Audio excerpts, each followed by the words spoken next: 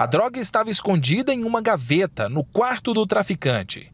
Foram encontradas oito peças de maconha, 35 porções de cocaína prontas para venda, em papelotes de plástico, além de balanças de precisão e um caderno de anotações, com toda a contabilidade do tráfico.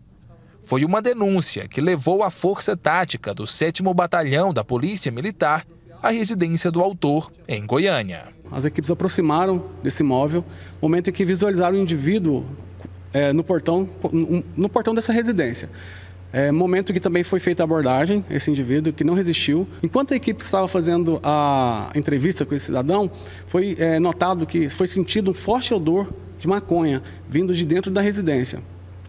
Aí foi questionado é, esse indivíduo sob, sob esse cheiro né, forte, o mesmo confessou que dentro da residência havia mais drogas. Mesmo diante do flagrante, o rapaz ainda tentou aliviar para o lado dele, contou uma história para os policiais, mas diante do histórico criminal do sujeito de 25 anos, que já tem passagem por tráfico de drogas em 2020, além de outra por porte legal de arma de fogo, acabou pesando para o lado dele. Ele disse para os policiais que havia havia negociado com um homem nas redes sociais para fazer o transporte dessa droga. A logística seria a seguinte: pegar a maconha e a cocaína em Senador Canedo, na região metropolitana de Goiânia, e levar até a cidade de Firminópolis. E para isso receberia uma peça de maconha, possivelmente para continuar vendendo, continuar praticando o crime. Só que essa história não colou principalmente pela intensa movimentação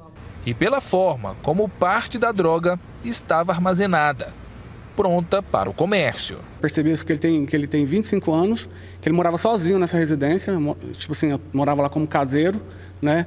E que vivia disso, não, não trabalhava, só ficava por conta é, do tráfico mesmo. O homem foi apresentado na central de flagrantes da capital na tarde de terça-feira e deve responder novamente por tráfico de drogas.